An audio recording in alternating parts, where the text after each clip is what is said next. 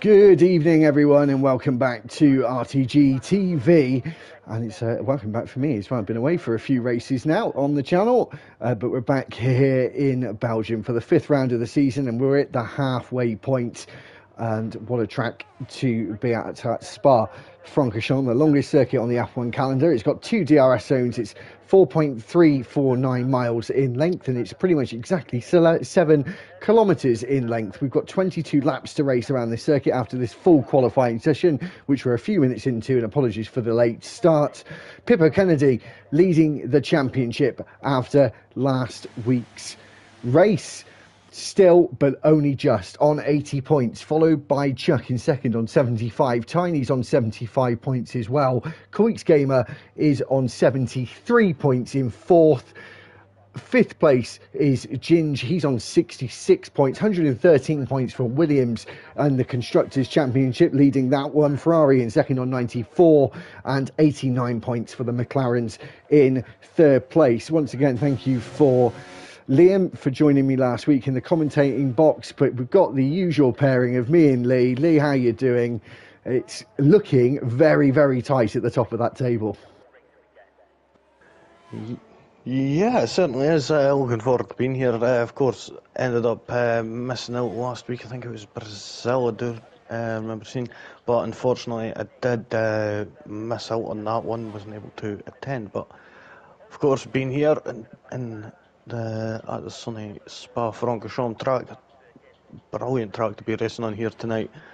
And we're seeing that some of the times already start to come in. We've seen Tiny actually on top in the intermediate championship right now, 146.974. We'll see, we've got Chuckle who's on an out lap right now. Having we look down Koyaks, it's just a way to finish his lap, but I don't think it's going to be enough. Not 147.013. That's only in the intermediates, that is. Oh, Matt going fastest with a 143.156.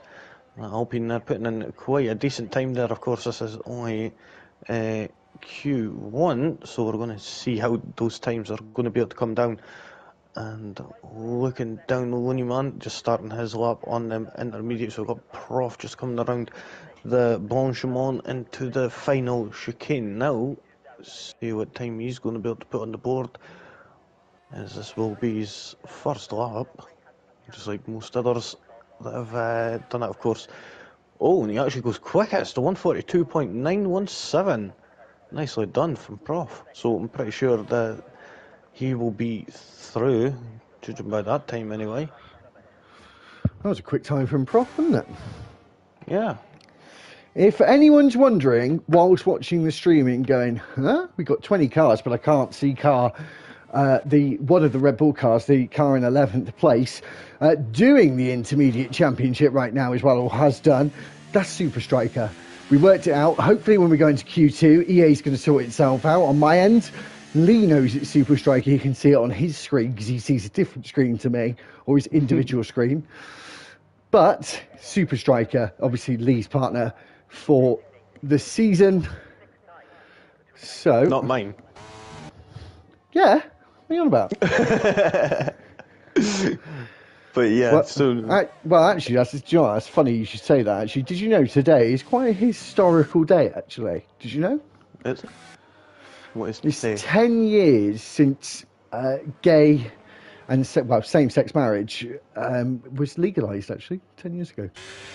I can't mm. believe it was only 10 years ago that that happened. But yeah, so talking about partners and things, that's, that's an interesting one. I heard on the radio this morning on the way to work. Chuckle now making his way uh, down the back straight into Blanchimont and down towards the bus stop chicane, where you'll thread the needle into the right and left hander. The left hander clunkier and slower, especially in this generation of Formula One cars. Of course, we've got Thursday's Intermediate Championship.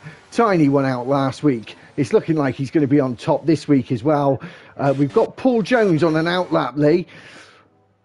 Are we going to, as as stewards of Intermediate Championship, are we going to allow this lap because he's within the uh, now within ten minutes of the end of qualifying? Are we going to allow I it? Will say, I will, I will allow it because he did start at like just over it, so it was uh, with it being a, a longer track, so it's a bit of a leeway, I would say. But we'll see how he's going to be able to do it as he's heading down the, Kemmel straight into this right, left, right ch- chicane section of uh, Les Combes. And he actually manages to do it quite nicely there, being careful on the throttle.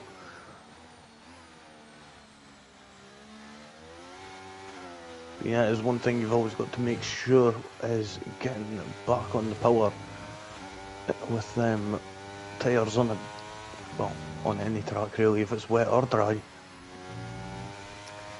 Yeah, and apologies, haven't got the track map up yet. Tut tut.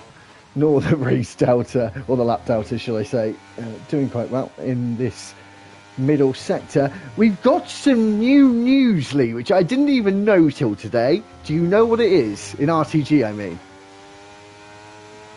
Um, no Ha- one there. that I have a little look at the Discord before giving your answer. I'll give you a chance. Tell me if you see something a little different.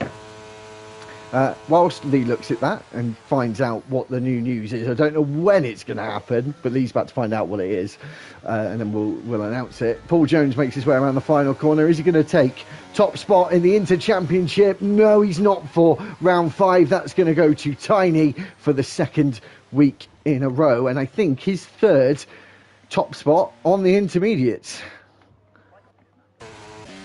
Do we know what it is, Lee? Uh, oh, reopening Wednesdays. Wednesday's coming back, baby. I never even realised that to be honest. Yeah, I think Ginger's leading that one. Uh, I took a guess. So, in our in or uh, it's not ours, but in ours in RTG's Discord, um, the commentators, me and Lee, uh, mainly. Uh, obviously, we had Liam last week. Might get him in the Discord as well as another backup. Um, we have a dedicated chat. If anyone who's listening later on, drivers between us and the admins, in case we need to ask anything like that, and you know, or or send funny pictures of themselves. Um, anything like that. Uh, and I noticed that Ginge was in that chat. Now, as I said, it was usually admins, owners, and commentators, and Ginge was neither of those things, but now he is. He's one of the Wednesday admins. I don't know if he's a sole Wednesday admin or not, um, but the guys here do run their kind of own tiers. I think Aki's kind of. I feel like Aki's top of the tree. I'm not too sure. I'm not going to say he is or isn't. Uh, and then we've got Chuck who runs Mondays, Prof that runs today. And, and now it looks like Ginge is, is doing the other day we've got Chuck as well, but I think he kind of bounces between helping out on Monday and oh, helping out on Mondays and Thursdays is Sticky Panda, who's racing for the Ooh. second week in a row. One of the new drivers who Lee didn't notice. And he said he there is a new driver as he wasn't here last week. So technically for Lee, it was a new one. As Ginge takes provisional fastest lap in Q1. Yeah, but I did see uh, Sticky Panda on Monday. Ah, okay, fair enough. So that, that's how. So yeah, but seeing Ginge just put an absolute stonker of a time there, 142.551. But I think he's going to have to go better to be able to go through. It's uh, it's going to be close.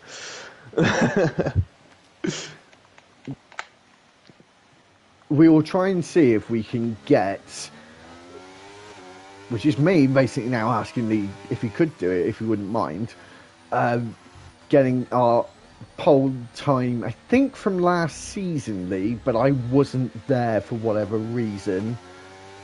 I can't remember, but I'm worried I'm thinking of a different league, but I don't think I am. Um, I think he may be. Do you think I am? Maybe. I think I might be. Yeah. Um, I went and well, checked and definitely- it seems definitely- to have been here for a bit. Well, the last time we were here then would have been. Um, is it this one that I found it on? Because I've got notes from a lot of different tiers and things. That's not Nope. that. Bear with me a second. I will find it. I feel like were we not there last season? No, maybe that was uh, somewhere else we were in, I think. But uh, yeah, Well, the, the be- okay, the benchmark that I've got from my last notes was a 141.445. That was set in the Wednesday tier as season 12. So we've been there once since because I've got notes on it and I can't. So it's either 13 or 14 that we've been here. Uh, and I If I think right, probably you 13. yeah, I think if we weren't, uh, I think we actually didn't beat it last time. I'm unsure. Okay. Oh, sorry, just- Lee. I've forgotten. Bear with me a sec, guys. I'm just going to send these something. I've not been very slick today. Came back from holiday yesterday. I'm still feeling. I've been to work today as well, and I'm feeling it. I'm not going to lie. The week, the well, I was going to say the weekend. It was sort of a start of the week. It's catching up on me, shall we say? Uh, so yeah, sorry, Lee. I forgot to send you that, which is what I'm about to look at and I will I would have said this off stream, but I'm going to say it now. I've changed it slightly in the sense I've made it more compact, so hopefully it's easier to read. Mhm. Okay, um, so out in Q1 this season so far, we've had obviously quite a few of those intermediate championship wise. So Tiny's now uh, uh, looking at last week's results, and obviously adding it. Uh, after seeing this, is Tiny now goes fastest with a 42.338. The Tiny's taken three intermediate fastest laps and is leading that championship right now. Uh, Coits Gamer has took the only other uh, spot on that list.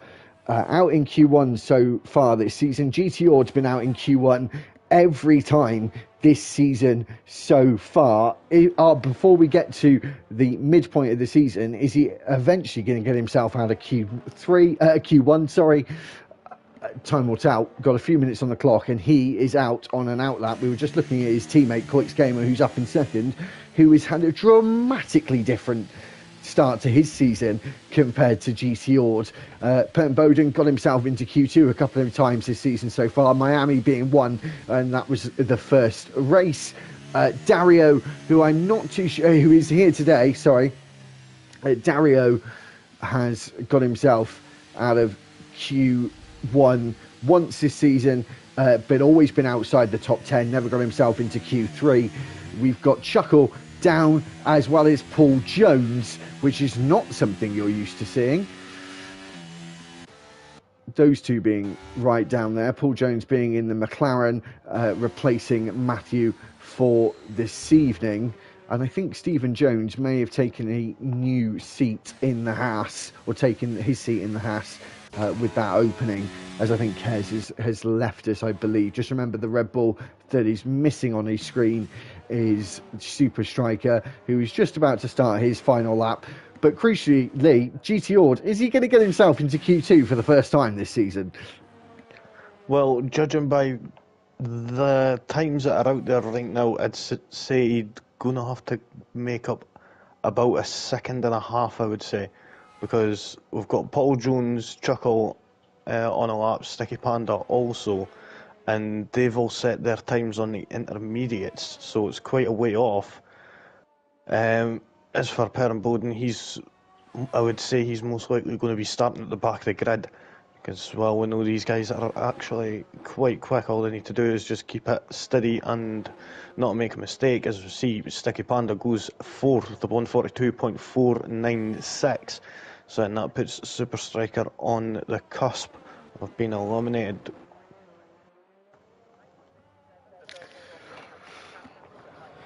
So, the two Aston Martins looking pretty good right now. One of the McLarens is out on his final attempt. What I'll do is, because I forgot to do it, unfortunately, you don't have it. We'll talk about it another time actually about this app I've got. You, you know, you should get it really because it's it's so useful. So so useful because you actually see true purple sector times, Lee, green and purple. Oh. It doesn't lie to you. The Oh, only the- issue the is, telemedicine thing. yeah, the only issue is a lot of the guys have turned their telemetry off and being public, so their name is not on there anymore. However, Right. however, a lot of them still do and I've said from now on, as long as one of the teammates has it on, Then you've got them both. you know what I mean. I can work it. We can work it out. The one that mm-hmm. says player, you can because that's what it says. But the other thing you can do, if you if you know, which I have done last week when we were in. Uh, uh, sorry, you weren't here. But when we were in Q1, Q2, and stuff, I actually manually changed people's names whilst we were going along. Um, Oh. and just been able to do it every time I didn't speak. So it's a bit of a pain, but it only takes about five minutes of the time, and it makes life that little bit easier. But I'm just trying to get it up. It's not working at the moment. Um, let's hopefully I'll get it working. But uh, yeah, we'll talk about it. There is a monthly fee, but when I say there's a monthly fee, it's one ninety nine.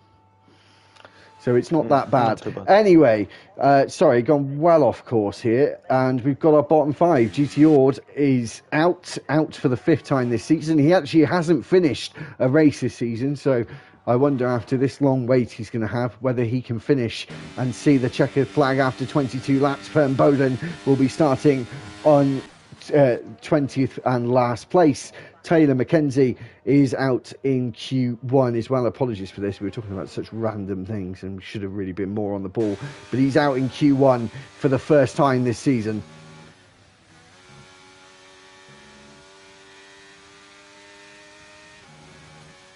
Yep, so there we go. That is the end of qualifying, and the results are as follows. And the top 15 will be moving on to the next stage of qualifying. We've got Tiny, who got the fastest lap of 142.338. And then just behind was Koyx, 27 thousandths behind him in second. Then there was Purple Kennedy, Sticky Panda, Super Striker, Gingin sixth. Seventh was Paul Jones, and it was Lee Chuckle. Looney Man in tenth, Prof was 11th, and then it was Chuck in 12th, Matt in 13th, 14th was Royal Rumble, and Danny was in 15th. So they will be all moving on to the next stage of qualifying. Folks who will not be moving on are Dario, Stephen Jones, Taylor McKenzie, GT Order, and Perrin Bowden and they'll be all starting in the respective positions of 16th, 17th, 18th, 19th, and 20th. So now moving on to a 15 minute session where the 15 drivers will fight it out to get into that Q3.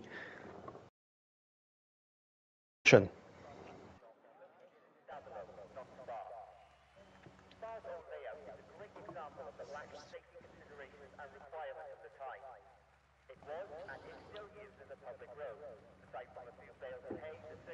So, unfortunately, Super Striker is still missing off our screens, and I think that might be Oh God. the case for the entirety.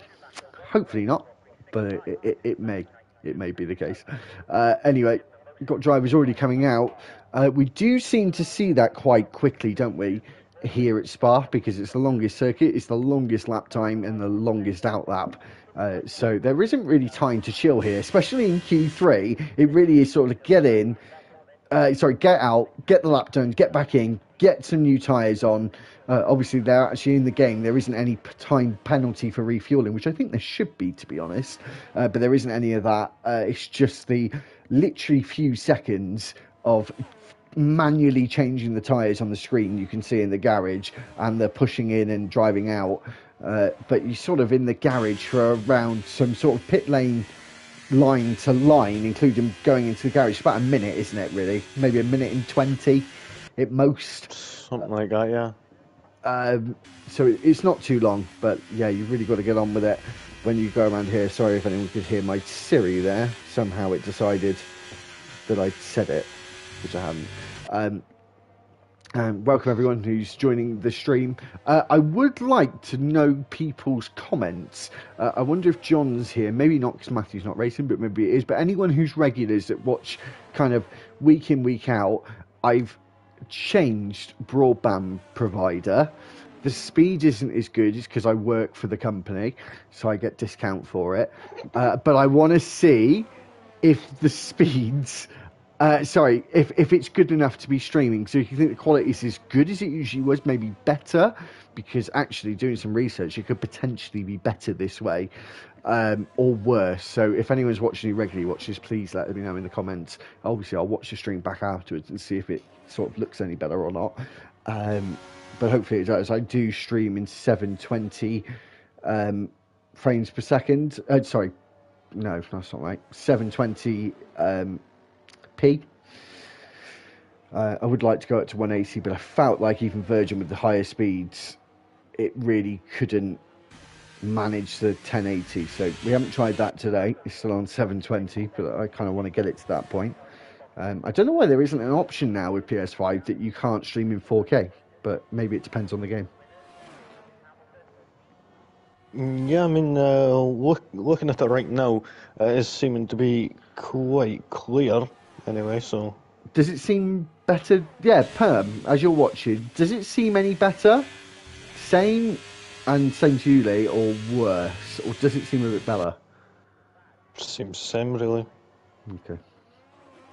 Because when I'm watching it physically now on the screen and I look back, it never looks as good. No, no, it never oh. will. But it's not even. But I, I uh, feel like it's not even close though. Yeah, but you've not got NASA internet, so I mean, true. And, and the other thing is, if anyone, maybe I shouldn't say this publicly. No, I won't. I changed my mind. I'm not saying it. Oh, hold on. Did you? Re- what appeared bust through? um, well, you know, you've been to my house. Do you? Do you not remember what's right next to my house? Oh yeah. Wait, is that there again? Um, I, I like we have to be cryptic, so I have no idea. Message me if you want. Perm's just sent some messages, but it's just gone off the screen very quickly as Looney Man sets the fastest lap. Tiny then follows suit after him. Uh, we'll start actually talking about what's going on in front of us rather than some gobbledygook about internet. I do promise you. As Paul Jones goes faster again, a 42.646. But before that, could you see what Perm Bowden says? Are you seeing what Perm Bowden said? Uh, I didn't have the chat up. The Bugatti, Um, what does that mean? Sorry, yeah. what does that mean? I can say that because that's got nothing what I was on about. All right, well, it wasn't that then. Was it? Was it that? Or... Oh no, I'm not talking about that. I'm talking about a building, a very important building that's within a quarter of a mile of my house. Bro, I had no idea. I completely forgot. Right, here you go. right, but so we've seen the this times place, coming. this place, sorry, this place that I'm sending you is the reason why it's not very good actually. The internet. There you go. Anyway, carry on. Yeah, so. Oh, yeah, fair. Um, but we've seen Pippo Kennedy bring in the fastest time up to now, 142.103. That's actually almost half a second quicker than what Koyak's um, managed to do just not long before it. We've got Lee just coming to the line, finishing his time, 142.838. So we're only waiting on Prof and Danny. Unsure what's happening with Danny up to now. He's yet to leave the garage.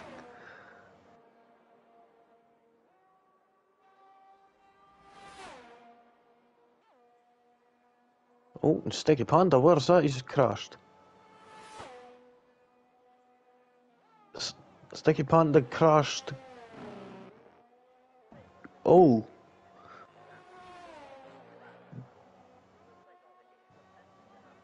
Just down there. Wait. Sorry, I was on mute then. Yeah, I didn't see where he crashed actually. His props going was- slowly. He's invalidated his lap time. It was just after uh, the start of sector three there that he crashed. I mean, if you go to Gingerly, there's getting out of the way, and then there's what Ginger's doing. That's. I have no idea what's happening. He's lucky that the tyres aren't really realistic because if they were really realistic, that it would be pretty undrivable, even though he's only doing literally 30 miles an hour. Yeah, I think he un- underfueled grossly there. And Do you, do you think that's what it was, or do you think he was just getting off the track?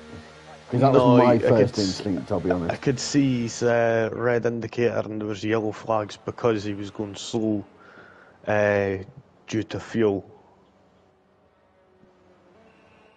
Right. Uh, so yeah, he's probably just went and put in the, the five kilos and just ran out coming into the final uh, half of the track really. I'm unsure is Looneyman on a lap? No, he isn't. No. He's coming into the box. Prof actually came in as well. I think he invalidated his lap too.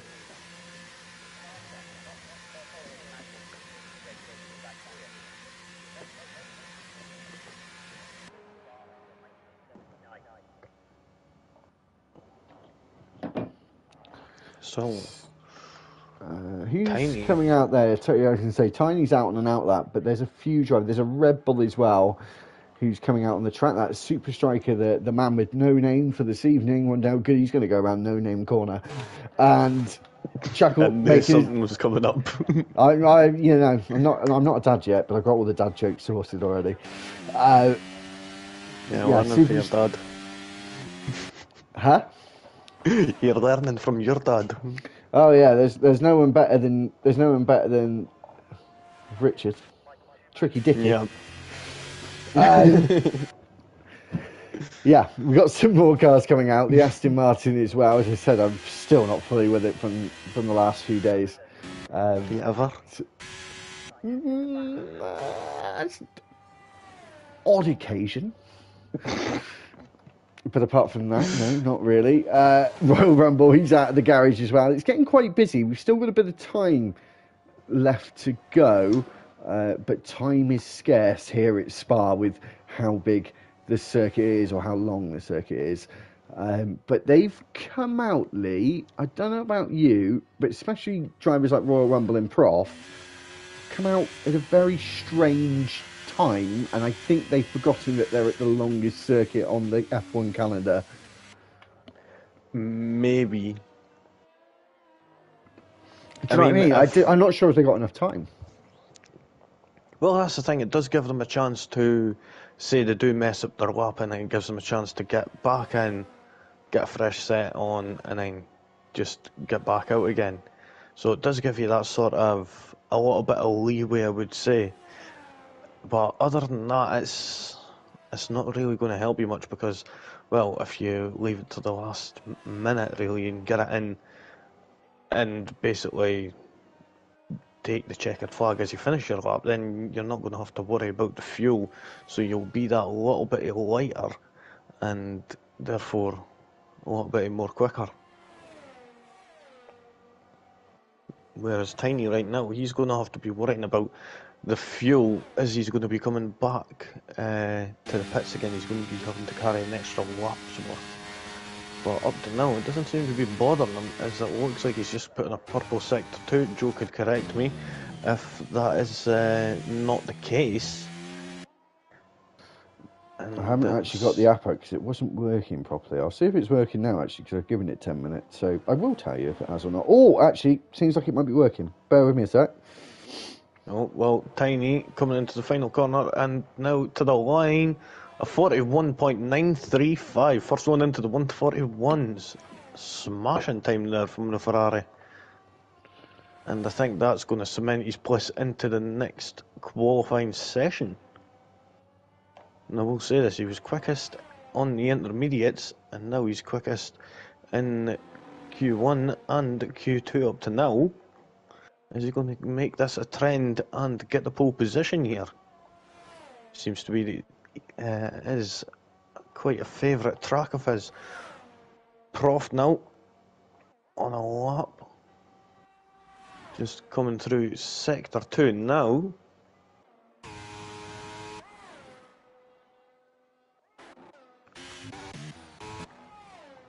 And Chuckles up ahead of him though, and yeah, the app's still playing up, so it may not be able to use it today. Unfortunately, I'll try and see if I can use a different way of doing it. Uh, but until Yep. then, we'll have to stick with the old-fashioned way. As Chuckle comes to the line with a 142.2, getting close to those 141s. But we've only seen one driver do that so far, and obviously he's in first place. Prof now making his way into the final two corners, which of course is the famous bus stop, which was reprofiled uh, getting close to 20 years ago now. I can't believe I'm saying that. As Prof makes his way to the line, it's eighth. Yeah, I think it was changed in 05 or 06, so it's either 18 or 19 years ago. Jeez. I feel old. Yeah, I'm really starting to get to that point now in my uh, 30th year. Uh, Reminds me of this video I ended up seeing about kids nowadays calling like Blink 182 like classic rock and everything like, huh? Yeah, that is a bit odd. Would you just bear with me one Yeah. second, mate? Yep, no worries. So we've only got one person yet to set a time, and that is Danny. He's just coming around at the Blanchimont now. Ginge throat, he's on a lap now. He's sitting in the drop zone in 14th. Is he going to be able to put in a good enough time? The previous time was 143.511. Now he's just going through Les Combes now. Danny's actually retired from the session. So Danny's not going to get any time in. That's a bit unfortunate there, so he's going to be starting in P15. Jen's just coming round to Pouhon now. Absolutely nailing that there.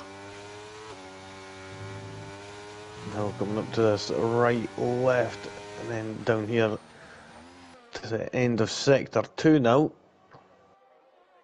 And he's actually up on his time by near enough a second. Which at this moment could put him into P4 even. But I suspect he's got some time still left in him. As now he's coming into the final chicane now. And he does keep it to the right hand side for the final corner and to the line he goes 142.354. So there we go into fourth, just like I suspected.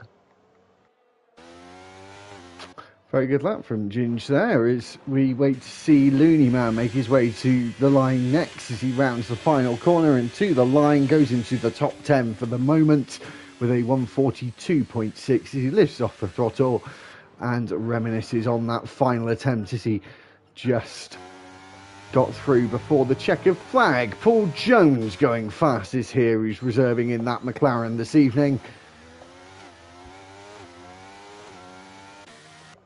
And who have we got left? Got Chuck. He needs to get himself through. Looney Man as well. He's on the. Uh, obviously, he's finished his lap and now has to wait to see if he's safe. His teammate is looking like he could be in a spot of bother now as we go around the final corner with Chuck. He goes up to seventh, knocks Prof out of the top 10. And that means that he's out in Q2 for the second time this season. Before now, he'd raced in three of the four races, and he'd been in every single session in one of the three races. And now it's a double Q2 finish for him. And Mass F1 now rounding Blanchimont and up to the bus stop chicane. Gets onto the brakes around 100 metres before the apex, into the right, into the left. Pedal to the metal, keep your head down to the line, and he just Ooh. misses out on Q3 by a tenth and a yeah, tenth and a quarter, something like that. Very, very close to that. And yeah, that's the end of his qualifying. He's got around a 20 minute, uh, tw- 15 to 20 minute wait until we get going for the race. As Looney Man wipes the sweat off his brow because he's just made it through to Q3. Yep, nice one there. Just one, just to make it through by the skin of his teeth there, of course.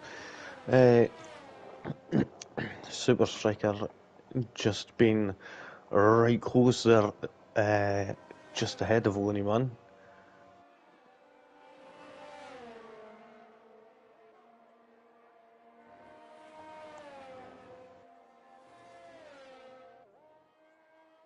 and I think we're going to end up running out of time unless he get, gets to the line.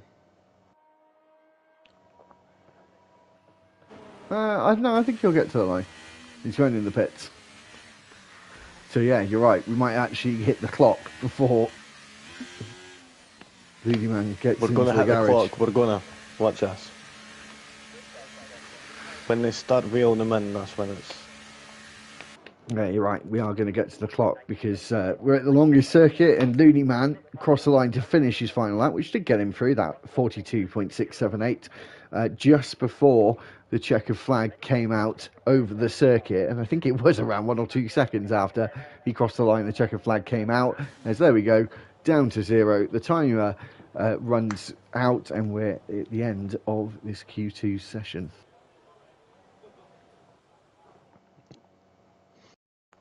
Yep, so there were 15 and now it will be going down to 10. There's Paul Jones there getting the fastest lap there, 141.931. And then Tiny was just behind that uh, by three thousandths of a second there. Well, sorry, Paul Jones actually put in that the time last, so he just went ahead by a little bit. So Tiny in two in second. Pippo Kennedy in third. Chuckle was fourth, fifth was Lee Ginge, and sixth, seventh was Chuck, and eighth was Quitex Gamer, Super Striker, and Looney Man. They will all be moving on to the next stage of qualifying, battling out for that pole position and that extra point. Matt, Prof, Royal Rumble, Sticky Panda, and Danny will not be carrying on, and then they will be starting in their respective places of 11th, 12th, 13th, 14th, and 15th. Now moving on to the third and final qualifying session where these top 10 drivers will battle it out in this 12 minute session for that pole position, the closest grid spot to the first corner, and who will be getting that extra point. Uh, so, Lee, quick question before any drivers come out. Um, the the pictures I sent for anyone for context was the stats for this week. Do you think they're a little bit clearer because I made the boxes a bit smaller? Is that a bit easier? Yeah, I thought it would be. Yeah. And the other little tip for you, if you're looking at a specific one, you don't know whether it's inside, outside top 10 stat or the qualifying outs or ins. The qualifying outs and ins are smaller boxes to the outside top 10 and inside top 10. So that's the way you can indicate looking down. So just, just in case you didn't know that already. I'm sure you probably did. Uh, Tiny now making his way out. As I said, I haven't got the app working, so we're not going to know true times.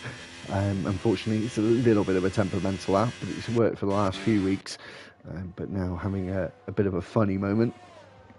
Uh, so, so, Tiny first, Pippa Kennedy second, Paul Jones is going. Well, he was going to be third. It's actually these guys are very close together. As Paul now backs off and lets the other two do their own thing.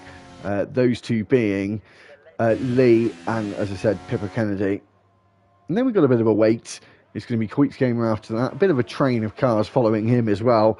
Uh, that being Super Striker, the man with no name, and the McLaren.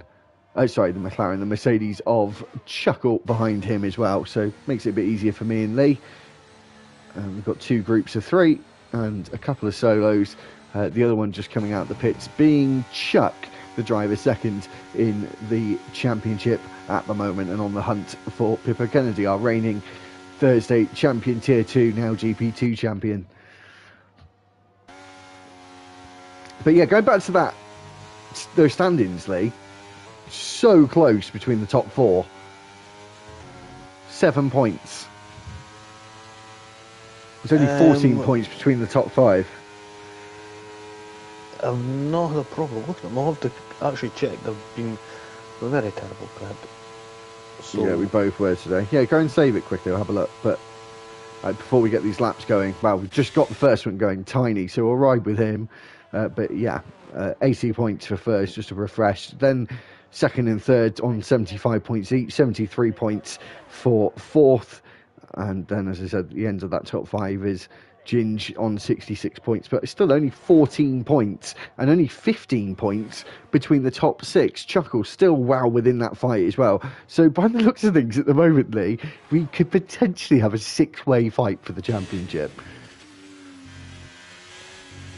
Yeah, quite. It's possibly. realistically close enough for us to say that. We're in round five of 10, and there's 15 points between the top six. It could swing either way for any of them in the next, uh, including this one, the next six races. I actually forgot that it was. Uh, never even realised that we're basically almost at the halfway point now. After we've gone with this race now. Well, noticing with the views as well, GP2, even though it's supposedly the second tier, or so called the second tier, uh, actually, view wise, is, is been more popular than GP1. And, and I actually, in terms of racing, nothing to take away from GP1. Um, I have, honestly, honest opinion, I have slightly preferred GP2 this season, just with how close. Don't get me wrong, Josh McGill is doing so well. I know it was your first proper race on Monday. Uh, I haven't honestly checked. Can you remember who won on Monday? Uh, Josh. Was it Josh McGill, Vis- uh, McGill Verstappen by any chance? It was. Uh, yeah. Close with Prodigy by any chance? No, I don't think so. I'm unsure. I can't remember. It's been kind of a bore recently. Just all the comms just. Yeah, they do one at once. start to merge into one. I mean, I'm a bit blurred for other reasons. Um, as Pippo Kennedy goes fastest with a 141.751. I'm not going to talk specifically what I did, but most of you will get what I did. I went to Amsterdam on my holiday, and uh, yeah, that was a bit of a haze, quote unquote. Uh, so yeah, when I say I'm a bit worse for wear, that that could be the reason why, maybe. Uh, so the top four now already set their. I say top four, four have set their lap times. Uh, two Red Bulls, a McLaren, and an Aston Martin. I've got no idea why Lee's laughing. It's not a laughing matter whatsoever. As we wait for the next car to to come to the line, Ginge being the next one. He's in eighth. Where is it going to put him? Fourth, and it goes Aston Martin, McLaren, Red Bull, McLaren, Red Bull as it stands. And then we get a little Williams of Chuck slotting into that second place and splitting the Aston Martin and McLaren of Pippo Kennedy and Paul Jones. And just to remind uh, you guys and remind myself, because I forget so often, uh, Paul Jones is one of the reserves this evening. I'm fully going to write it down now because otherwise I will genuinely forget again. Uh, as uh, we're finishing this Q2, Q2, Q3 session. I do that every week as well. Yeah, you kind of kind of do have a bit of a habit of that sometimes. I, I do, Um, yeah. So it's always in Q3. I say Q2. It's like a thing now. It's just a thing. Yeah. Uh, and Koik's gamer going very slowly. He's certainly not on a hot lap whatsoever. Must have made a mistake, Lee, because he hasn't invalidated, nor by the looks of things got any damage. So must have, as I said, got a bit of a slide on or something and just lost so much lap time he thought there was no point. I think that could be the only reason. Um, maybe I'm unsure about that. But you know what? I was just thinking there, right? You know how we were on about it just a couple of weeks ago, how this, I th- think it was uh, a couple of weeks ago, we were on about how this qualifying format isn't really the best nowadays. Is it yourself I was speaking to about that? Probably. But we talk so much Yeah. about Formula One, it that all blurs into one for sure. As, True, as Tiny true. starts his first lap. Um, what do you mean though? Refresh me quickly. Well, I was just thinking there how I was re- remembering about the F1 Academy and how they do qualifying, and it, wa- was actually really interesting. So it was like uh, you would do as many laps as you can in like uh, in like a thirty-minute session or something, and it would be your fastest lap would be like your grid determine your grid position for like the the main race I think it was and your second fastest lap determines your position for the sprint. And I was like, that's I actually like- quite I an like- interesting way. I like that, but obviously that would only work for sprint races. But I do also still like the knockout, so it's yeah. I, I can't. I don't think they should fiddle with the format too much now because they've done a lot of fiddling with it in the last three years. I know. I know it's only sprints that they've been changing. Um, Knockout. the elimination one. Oh yeah, that was a little while ago now. That was like 2016, 15 or 16, because it was definitely that like Something like that. smaller generation. I remember it was a smaller generation, but I can't remember if it was Well, 15 or 16. race. No, no, no, no. It was two races. Was it two races? It was two Oh. races. Yeah, and then they got rid of it. But I suppose That's that's the right thing to do anyway.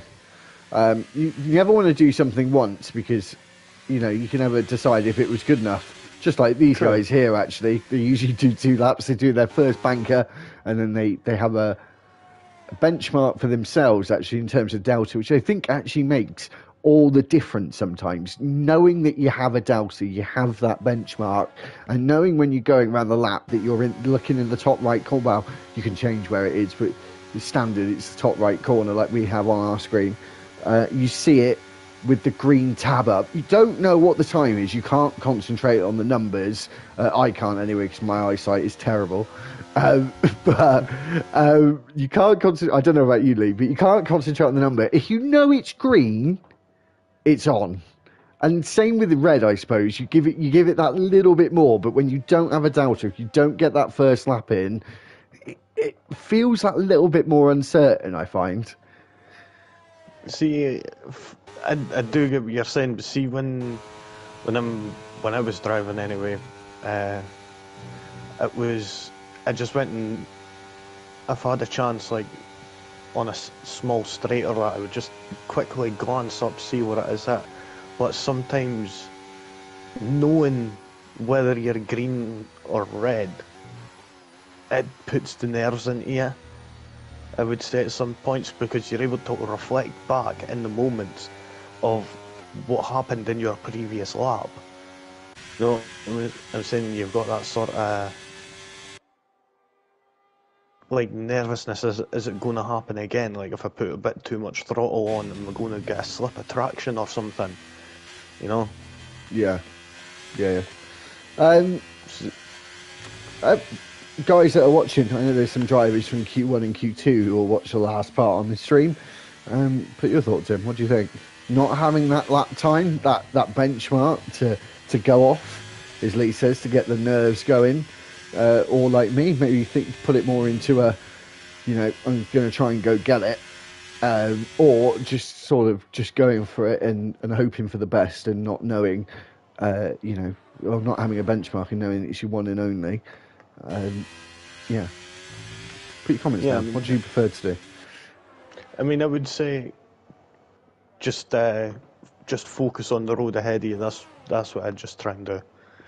Don't look at the the, the thing up in in the top right of your screen. Just keep looking forward and focus on everything what you're doing around you, and then then look. So, back to what back what to what we're here for anyway. Actually, focusing on what these guys are doing, and Pippa Kennedy's going to be the first driver to finish a lap. Uh, he is making his way through the middle part of the lap. Sorry, I was just double checking who were the reserves again. Just Paul, is it? I think it is just Paul. I think we did have 19 full time in the end, and Paul Jones is the only one who is reserving. So the checkered flag is now out. We've got every driver out on the track setting a lap. Obviously, this being the longest lap of the season. The only man that isn't setting a lap, sorry, is Looney Man. He's in the pits. He's retired early for whatever reason. As Pippa Kennedy comes through the bus stop chicane, makes his way around the final corner. He goes onto provisional pole, by an even more of a margin than he had previously. He's taken two of the four poles so far this season. Is it going to be another one as Ginge gets himself onto the front row and into the top three? He's done that once this season so far as well. Chuck goes on to the front row as well. He's a couple of tenths back from Pippo Kennedy. His uh, super striker sets his final lap and goes fifth fastest. His teammate Lee is the next car up and he goes fifth fastest and pips his teammate as we now wait for Chuckle to cross the line and he goes seventh fastest. We've got two more to go. Koix Gamer and Tiny. Koix has been on pole once. Tiny hasn't just yet. Koix goes on to provisional pole, but is Tiny going to get his first pole of the season? He isn't. He isn't even going to set a lap. He invalidated his final attempt, and Koix Gamer is on pole for the second time this season and qualified in the top three every race so far. That is actually a, a little bit of a a surprising one. Actually, I was actually thinking that, judging by Q1 and Q2, that Tiny was going to get it there, but unfortunately messed up his lap and uh, didn't manage to get a time in. Unfortunately, so he'll be starting down in tenth. He certainly will, and we didn't mention it at all, actually. And I'll just mention it right at the very end. The pole time, a one forty one uh, one. The benchmark I had from season 12, set by Matthew, is a 141.445. So we didn't beat it, but we were so, so close. Oof. That is uh, just a small margin. We would say something else in Scotland. Um, but uh, Koyaks Gamer there getting the fastest lap of 141.461, and he'll receive that extra point for getting the pole position, and he'll be starting the closest to turn one. Pippo Kennedy will be lining up next to him in second place. Behind him will be Chuck and Ginge in third and fourth. Fifth is Paul Jones. Behind him is Lee in sixth. Then you've got Super Striker and Chuckle on row four, and then it'll be Looney Man and Tiny in ninth and tenth. So now we're going to be moving on to the race where we're going to be having 22 laps of racing around this 7 kilometre track.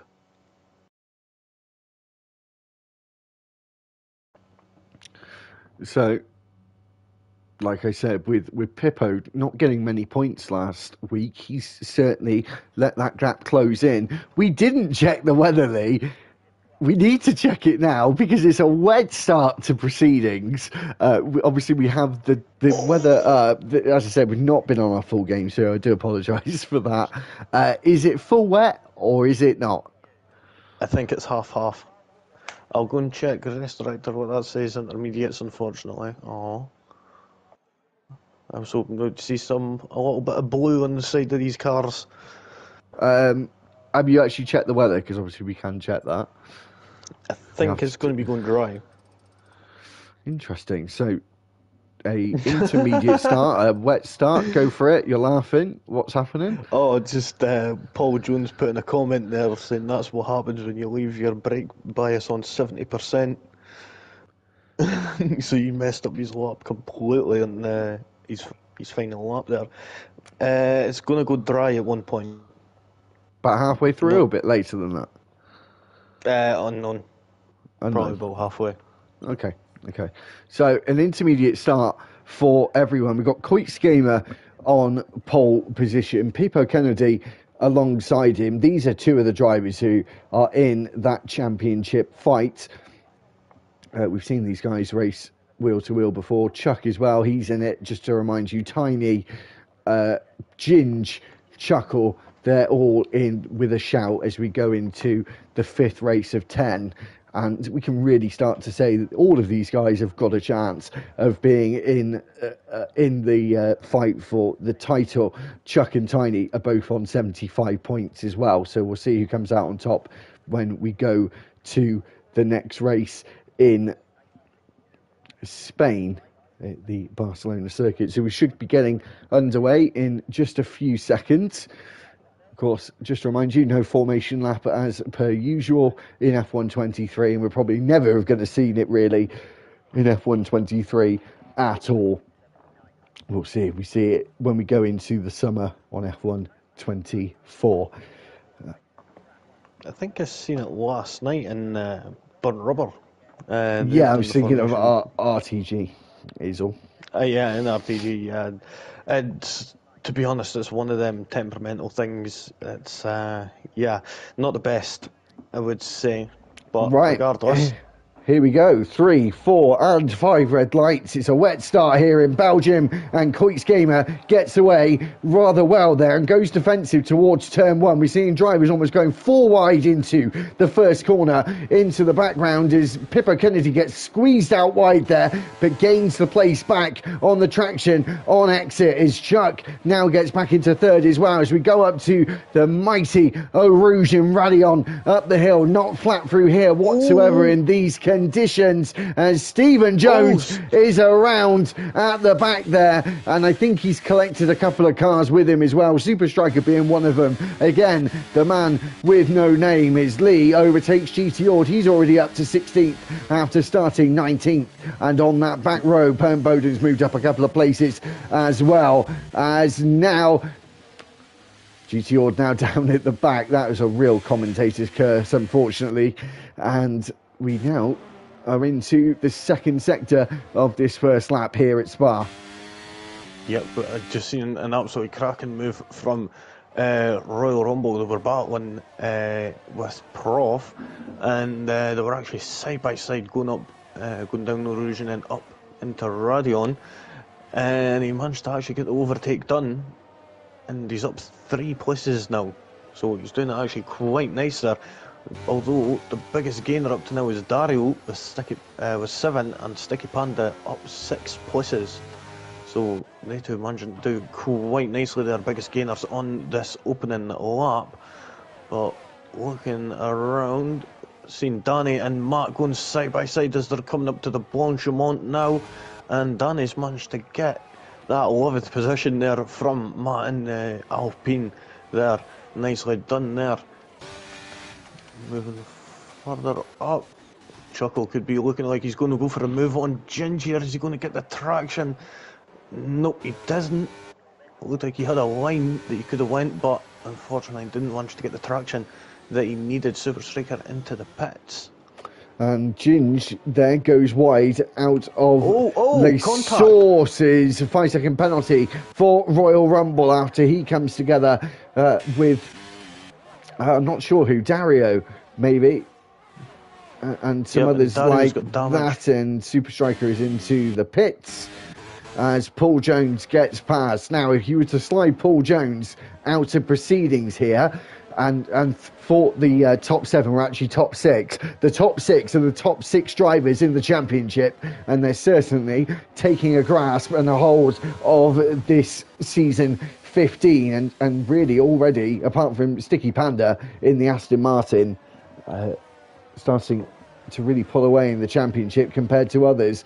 And Koix Gamer, though, looking very comfortable.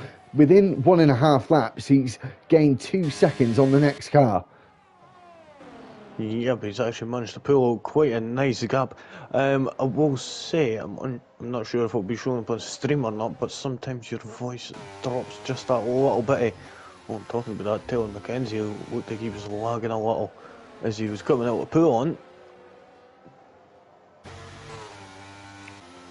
But yeah, oh. so unsure if that's going to be your internet or not. Okay. Bear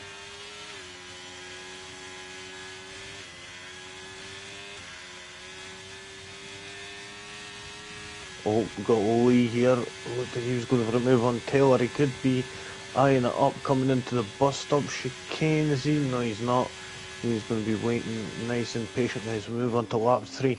Oh, Paul Jones making a move on Chuck there. And now Paul Jones is up into second place. GT Ord and Perm Boden there looked like they two were battling out there, and GT Ord actually spun round at the final corner there.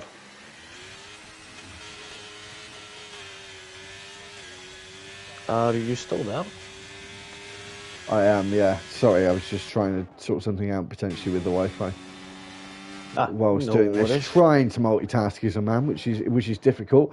Coits Gamer though, not having difficulties on this circuit in these conditions. Three and a half seconds. Lee. Now his his lead is Lee getting past Taylor McKenzie, uh, already having himself a time penalty though, and it's three seconds, and that probably will be for corner cutting, uh, but up to 13th, and we'll see if he can improve from there. Uh, Royal Rumble obviously having that five second penalty for causing a collision with another driver.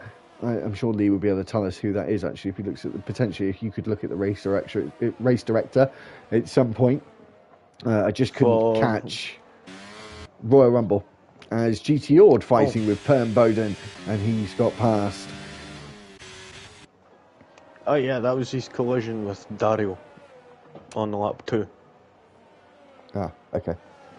That's what that five second penalty was for with uh, Royal Rumble.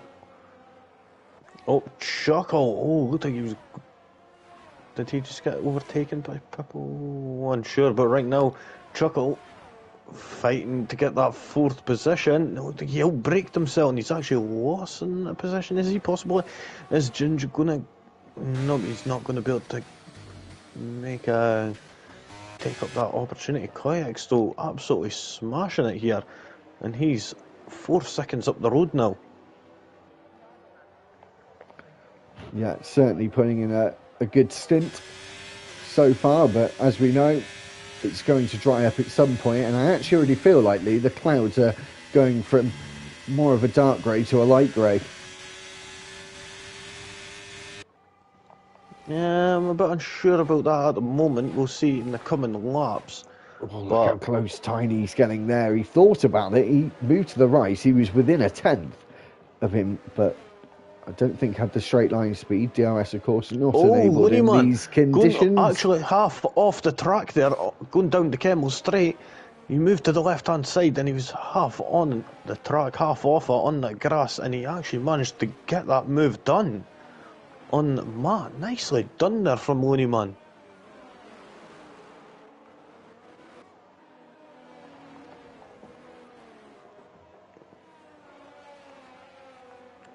Very, very good move there from Looney Man. Didn't catch all of it, unfortunately, but what I did see, or what everyone else saw as well, it was a, it was a good move. Uh, Lee now, after getting past Taylor McKenzie, right on the back of Prof.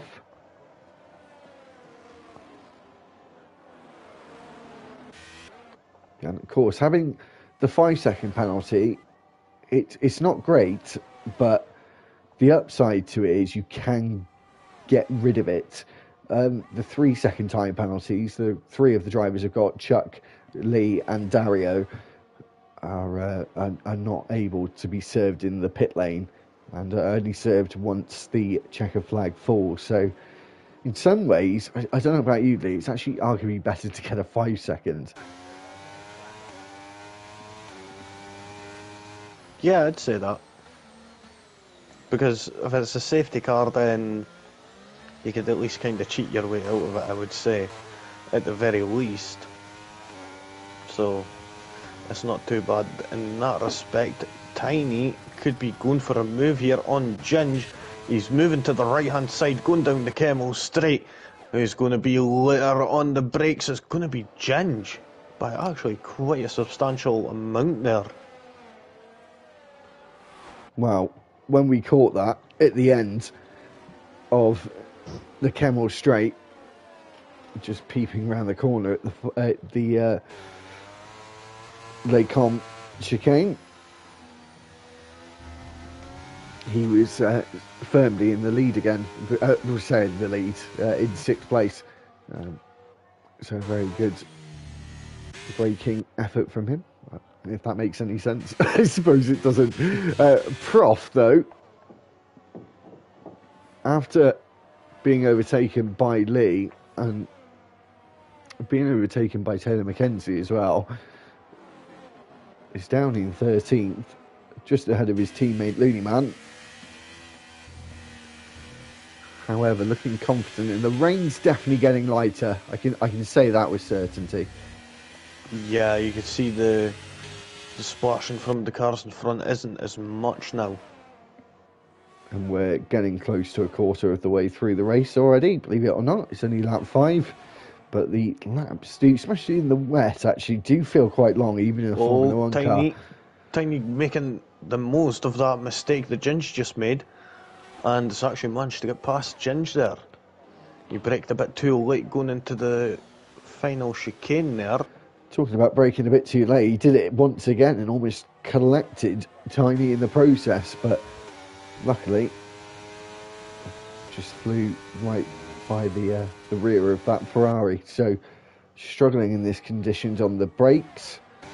Tyres should still be quite good in these conditions. It's still damp, which means the tyres aren't going to be overheating just yet. But as we as we know, as the rain is already now stopped, Lee, that this track's going to dry up in the Oh. next lap or two.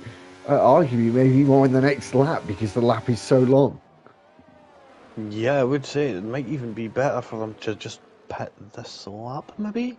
But then again, that could end up. There's still quite a lot of spray. But we'll see who's going to be the first one to jump in. Could possibly see one of the back runners doing it first, I would suspect. Trying to possibly take advantage of a, an undercut as much as they can. Because this is the perfect time to do it, I would say. It's that sort of high risk, high reward. And well, if you've not got nothing to lose, then it's not really a risk for you. But now looking at Ginge, Tiny, and Chuckle there, I'm on board with Ginge here, and just watching these two battling out out in front. And he's going to be a little bit happy about that. Of course, that's going to be keeping him in the game a little as well. We'll see how things are going to go. Is anybody going to pit? I don't think we will see anyone pit just yet. Oh, and Ginge actually spins a little there, and actually Chuckle is into the pits now. He is the first one to pit. Are we going to see anyone follow suit here? Doesn't look like it up to now, Stephen. See, nope. That's a little bit early, isn't it? Maybe we were a bit early to call that decision to be at the end of the lap, but I mean, that's the thing with it being such Ooh. a big track. whoa, he's almost spun out as he exits the pits. His loony man actually spun out it, La Source, and then he goes into the wall and loses his front wing end plate. And that Oh. really wasn't the best decision. Needed another lap or so. He's, he's on the hards too. I think the hards wasn't the wisest of choices. Is now Oh. it twists the be- knife and gets a three second time penalty. Yep. It's the gift that keeps on giving, I suppose. But yeah, anything could happen in this sort of sport. I'm glad it's not Christmas League, so I wouldn't want that kind of gift. yeah, I, I would say that. Uh, GTO now getting past Chuckle as well, and Chuckle soon to be passed as he f- feels like he's given up on the race. Actually, he's lost his whole front wing now, pitted far too early, and I think wishes he was offline and could press that flashback mode.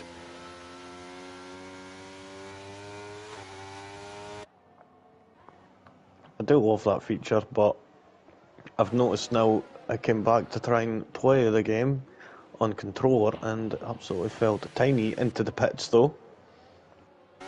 Now, is this going to be a better one? I don't think it is just yet. The No. clouds are still hanging over. It's I think actually this not. possibly could go into softs, maybe. Uh, he's he's putting a new front wing on, oh, and he's also gone the way of the hard tire, and we know it is So- uh, it, it is lacking in grip. Yep, I'll stay on board with him and we'll see how he is going to be able to do it. Of course, we'll have Chuckle into the pits at the end of this lap. Tiny just coming out of the pits now. Ah, and Chuckle's retired. That's that's unfortunate. So if Edward first retiree, we'll see how Tiny's going to cope with this damp conditions right now. Still seeing quite a bit of a wake of the water being flicked up from the rear of these cars. So we could suspect that it's probably going to be still quite wet, and I think the inters are still actually in a league of their own right now. I think it's actually going to take a lot longer than well, me anyway, what I anticipated.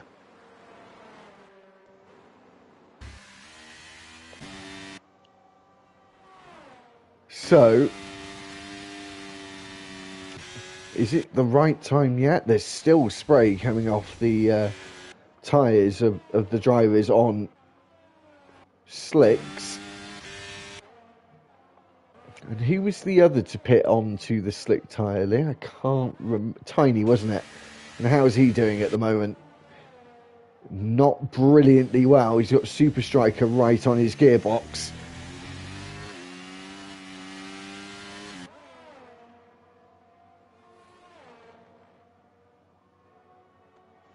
Yeah, but you could easily tell the grip superiority from the the inters to them hard compound tyres, and it is absolutely incredible. See who's going to be able to break first. And I think it may start coming into the crossover period next lap, I would say. Maybe, but again, this this game never ceases to amaze me. I mean, this is again feeling more realistic, feeling more what it would be like with taking a few laps around here with 19 cars going around the circuit to clear some of this water up. It's been about three or four laps now. I mean, it's still arguably a little bit quick, but it's much better. But as soon as the sun comes out, the track seems to dry up within seconds as we're seeing a fight between Lee and Royal Rumble Uh, as DRS is now enabled. Now that seems a little bit early, seeing as the conditions are still not great. As Stinky Panda gets past Ginge at the entry to Pouhon Corner, and that was a great move from him. But still, Lee, from what we can see, I, I don't trust dry tyres just yet. No, I wouldn't say that they are the best tyres as of yet.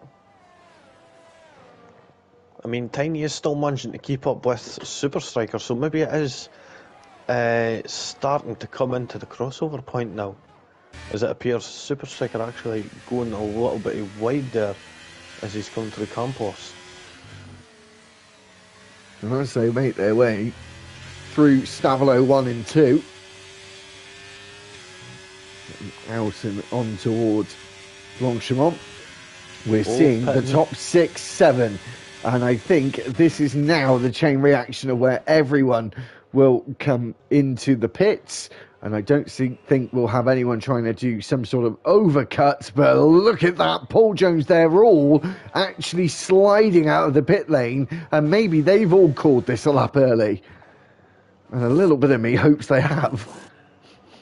Um, yeah, it would be uh, a little bit funny to be honest, but Tiny Interestingly, to get in interesting. the sixth. Just and a long, long way back now. And the call to come out early is Ginge on that in, uh, on that medium tyre, overtaking Lee on the same, uh, just on the entry of Eau Rouge. And with DRS now open, and neither of them having it though.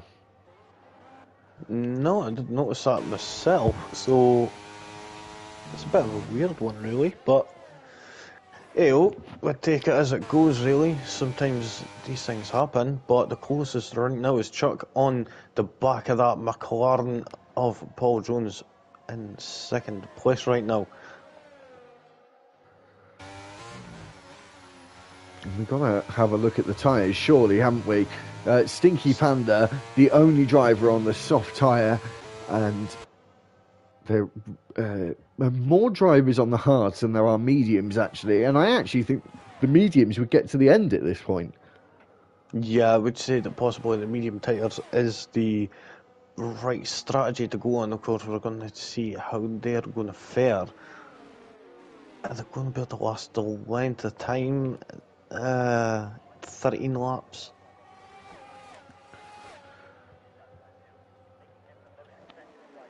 I'm unsure. I mean, due, due, just due to the the size of this track and, and nature, really. Just having a look, I, I know we, we're literally at the half point and, and we've got a way to go. This Tiny sets the fastest lap and he's on the hunt for the drivers ahead of him. He's actually on uh, used or somewhat used hard tyre as Chuck gets past down the Kemmel Straight using DRS for his first, I believe, DRS overtake of the evening. As now Stephen yep. Jones gets the fastest lap, and the track is really ramping up now, and it will be at a at a almost right angle curve of trajectory of grit. Ginge getting past Danny is Lee's caught. Yep, imagine use that DRS to full effect there. Oh, Stephen Jones is round, coming up Raidillon yeah, he gets overtaken by one in two, and is it going to be three? Not looking like that's the case. Is GT is yet, yet, to finish the race, and as Lee just said there, Stephen not looking like he's got damage. He's just done a few 180, uh, 360 spins, and lost a few places and a lot of lap time on lap 11. Yep, I would say the only thing that's damaged there is a little bit of pride there, but these things happen unfortunately. And racing, Paul Jones still sticking right close to the back of that Williams of Chuck just ahead. Koenig setting the fastest lap at 148.7, and I suspect that just like it's happened there, the times are just going to start getting quicker and quicker. Chuck putting in a 147.950, so we could tell just by that that the gap is coming down. Sticky Panda now putting in the fastest, the 147.445. No surprise though. Soft time. Yeah, I say that. Oh, oh, Ginge. Are we going to see a 146 at the end of lap 11? I don't think Go we on, are. Super Striker, winning man. Super Striker makes his way to the line. It's almost like a little bit of qualifying in the race, and now he doesn't take the fastest lap, uh, nor I think any of the others will. No disrespect to them, but I don't think they'll beat that time. Potentially they will. Uh, but not looking like that's happened. I think everyone now on lap 12. Lee getting past Danny and Time coming down somewhat. Paul Jones, though, being the reserve, but he is uh, almost towing uh, Chuck and Pippo along. And that's what I want, Lee, because Coix Gamer, Chuck, Pippo Kennedy, those guys are, you know, really, really in a good shot of being in the title fight. Three of the three of them, uh, all three of them are in the top four in the championship. So only eight points between uh, Pippo Kennedy and Coix Gamer, uh, with Chuck in between, is Royal Rumble and another which I didn't catch as we got Royal Rumble's time penalty just before. Uh, I think that might have been Taylor McKenzie, yeah. as they both went off at the same place. One following the other's line, which is a classic uh, don't, as we get into the 145s now with a time of uh, time from Paul Jones. And as I said, that it would almost be, and it pretty much was, a 90 degree angle of, of the grip just shooting up on the circuit. And it will get better and better, just like it does in qualifying from start, because we've basically got a fresh uh, circuit from, from the start of qualifying. So, Chuck now getting past, and yeah, so it's just going to go up and up from here until the very end, pretty much. And as we go down the Kemmel Straight, no one else within DRS range. Danny close, but I don't think close enough. I think he got within one second just after the line. We'll see if I was right. Yeah, but now he is within DRS range. He's just got to stay there for the next couple of sectors.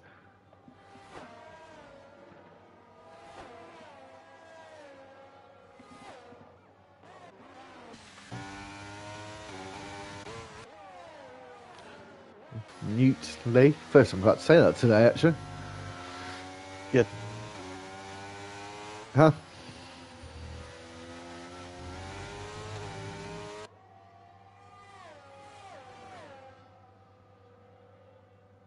Lee?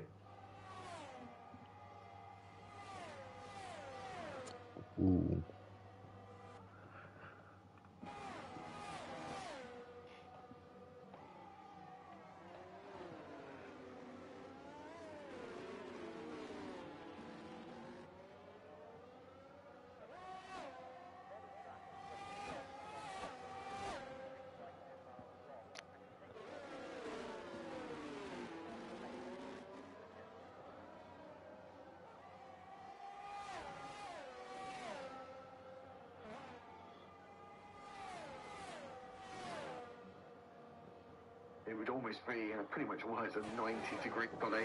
I do apologise about that. I was just in the middle of doing something there. Oh, mate, I thought that was my Wi-Fi because I've just tried it today. Paul Jones getting past, so I was just trying to check if it was me because you didn't respond. And I thought I'd like left the party before it told me I'd left the party or something. So thanks for that. Thanks for giving me an absolute panic attack. Is Paul Jones, as I said, gets past on the Kemmel straight. We've got to be better for Monday or, or sorry, next Thursday or Saturday, should I say, in two days when we do it again. Uh, Pippo Kennedy very, very close to the back of Chuck. And as I said a few laps ago, Paul Jones just pulling them along and trying to catch up with Coix Gamer. Um, maybe the medium tyres starting to work a little later on than they expected as this track ramps up. And Chuck there definitely going off the circuit and getting himself a warning. Yep, I think the. Oh! Super Striker breaking a bit late. Uh, going down uh, just for no name. I forget the corner, the name that corner is. Um, It has two names. I'm not sure which one is now the official name, but the one I've got today is Rivage. Rivage. ah, yeah.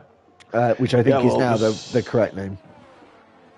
What was it before? Do you remember? Brussels. Ah, yeah, Brussels.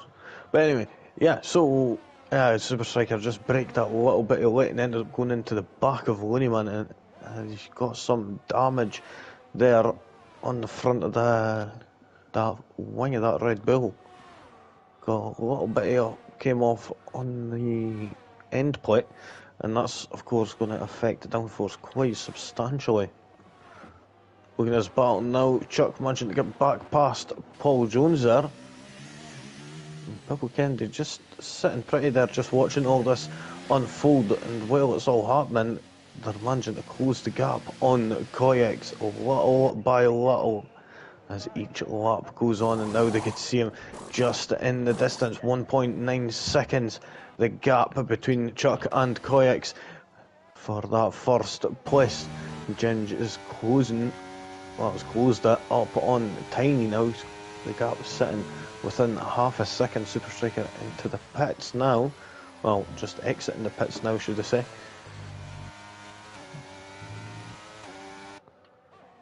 Oh, Tiny getting a three second time penalty. That's So- gonna So- bother him with Ginger right up his tail. And Lee has done the same as well. And that time again, just slightly coming down as Chuck decides to be the lead of the three drivers here. It's actually starting to work, and the time's coming down more and more.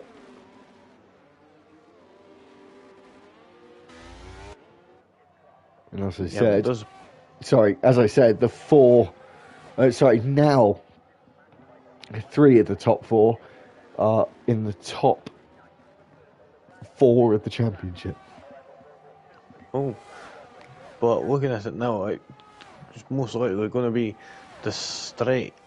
Each time they go down this straight, appears that they're just getting a lot more speed. And look at that, Chuck's already been able to close the gap, and he's not even got any DRS. But Paul Jones has got that DRS, and we'll see what that gap's going to be down to as they're going into Les Combes. It's already down to 1.5 second, 1.6 seconds now. So it is coming down quite quickly, and I suspect that it could start coming in in the next lap or two.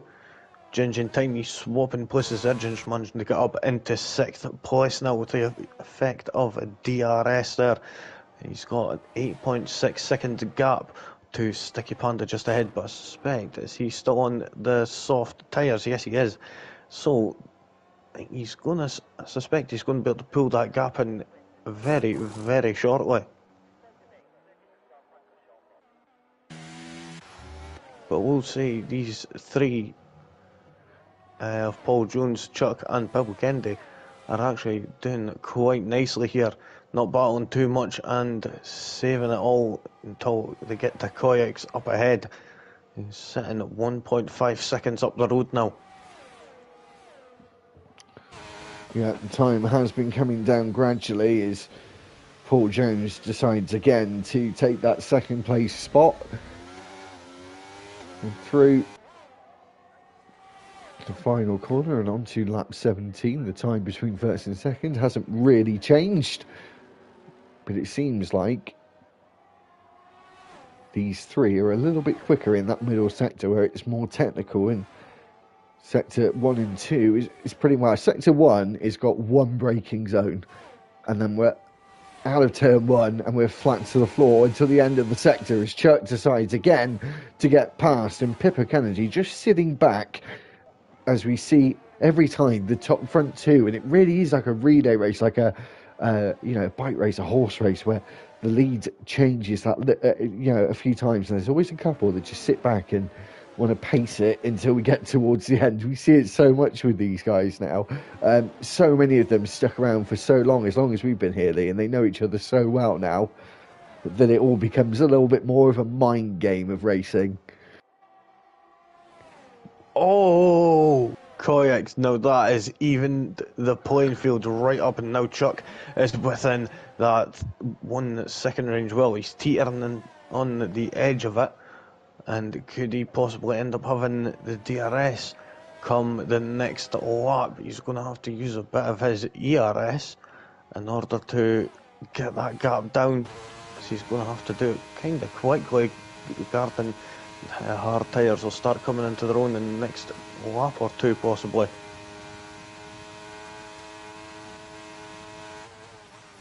Let's see, he's got within that DRS range now coming into the final chicane. He's just got to get it nice and smooth here to get within that striking range come the end of the Kemmel straight even.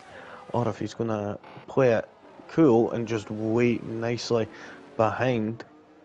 We'll find out in just a few moments. Tiny still sticking on the back of that McLaren of Ginge for sixth place.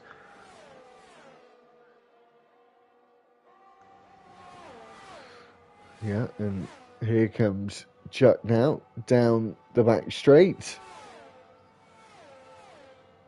to the left hand side and now takes the lead of the race. And Quakes Gamer, who's led every lap up until now, loses it on the 18th of 22. But those two both having three second time penalties, so arguably have to work together to get that three second gap up and then fight between themselves for the win later on. I don't think that's going to be the case though. Uh, but wouldn't that be interesting if that could happen for them? But yeah, well, that's Pippo Kennedy, sniff Yes, Pippo. Oh, sorry, I was going to say just literally about to, just taking the words out of my mouth. Pippo Kennedy now, uh, you know, smelling that blood of of the win. Yep, that is certainly looking like that. He is only 1.4 seconds back on Chuck, who's sitting in the lead right now. So by right now, taking out Paul Jones, he would end up being uh, the winner technically. Yeah, so, which is very, very odd. The driver who finishes fourth would would be winning the race, but sometimes that's just the the way the cookie crumbles. Obviously, Paul Jones effectively isn't there at the end. He's here. Um, hate to say it, don't we? Literally to make up the numbers, uh, but also just to, just to come along and race for the fun of it. Really, that's what the reserves do. Um, they have spiced things up in the past. I mean, we were in Monza uh, not too long ago.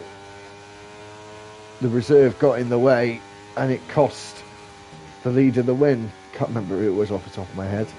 Um,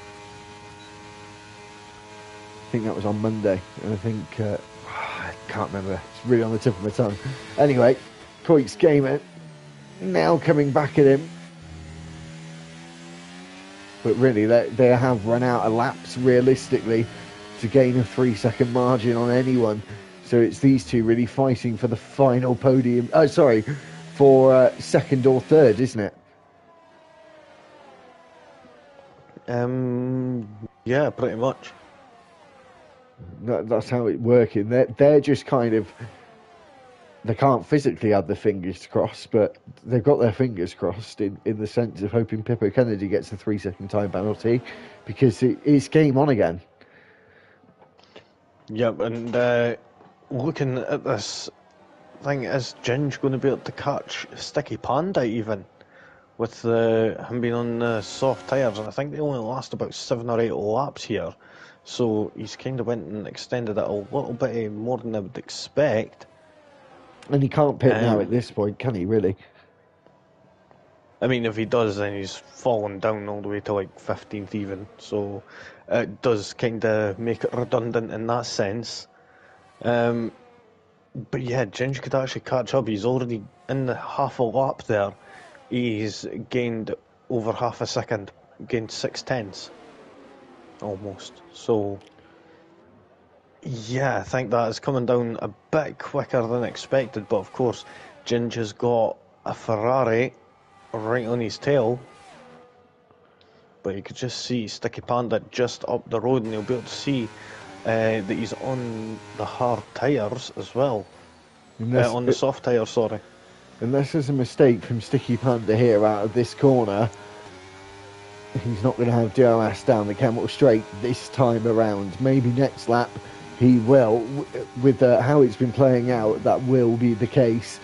Uh, as the soft tyres are just going to fall off a cliff up to this point is Paul Jones now starting to uh, potentially cause a little bit of mischief as a reserve. He goes wide though through no name and loses the place to Coit's game that he, that he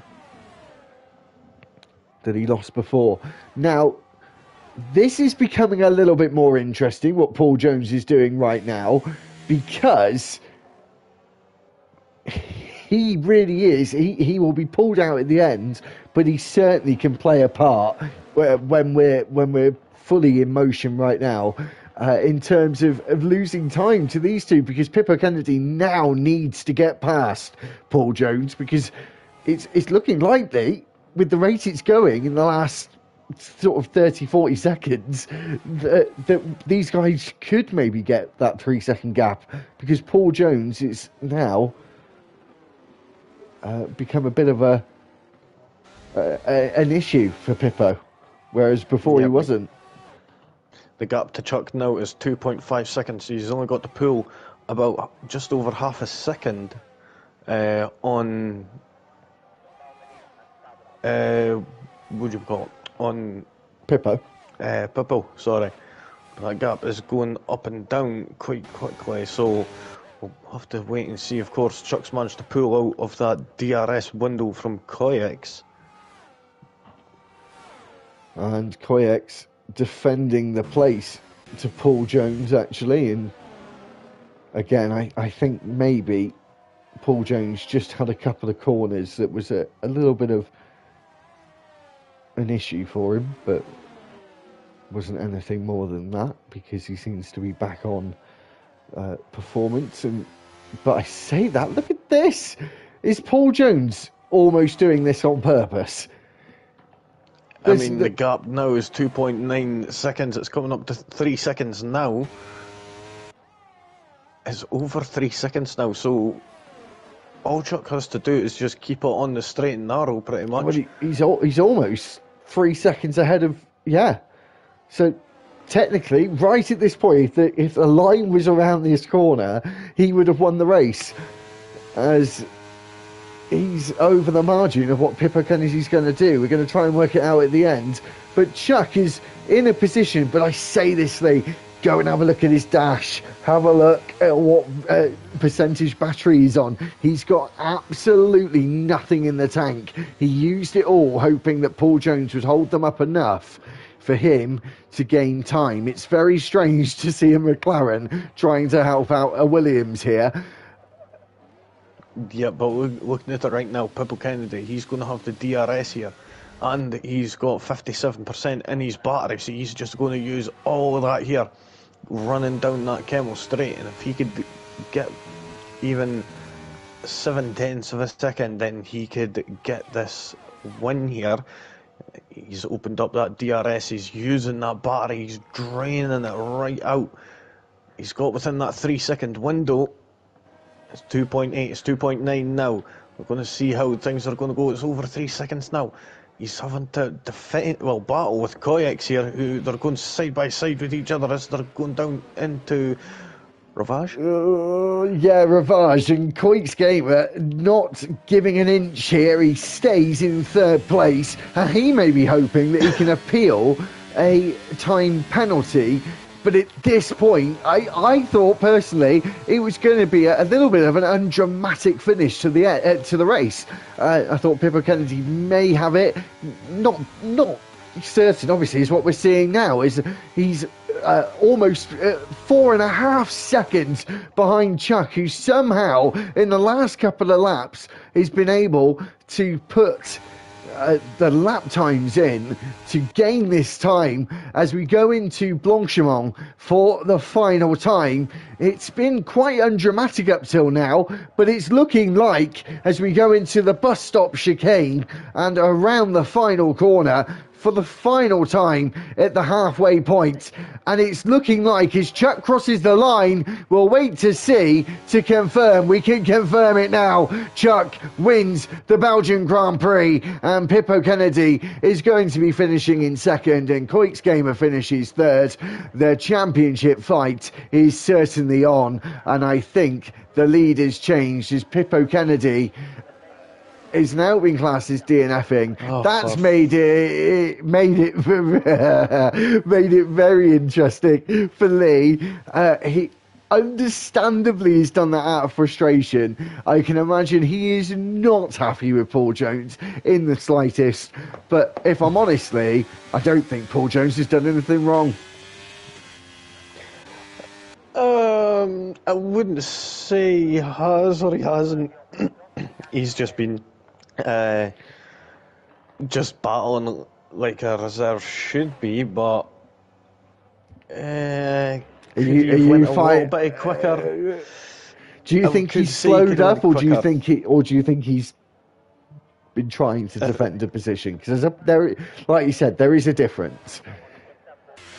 I think he was, but he was also just he could have went quicker because I did see the amount of battery he did have at one point, and so yeah, I'm unsure about that.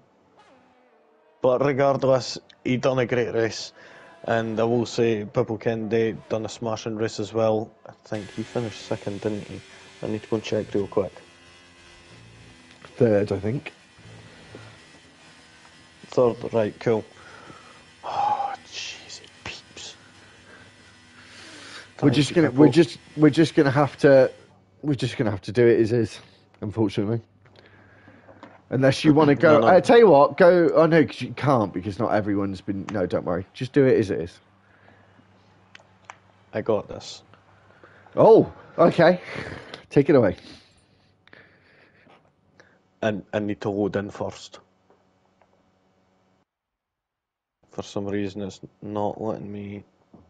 Are you still stuck in a black screen? No.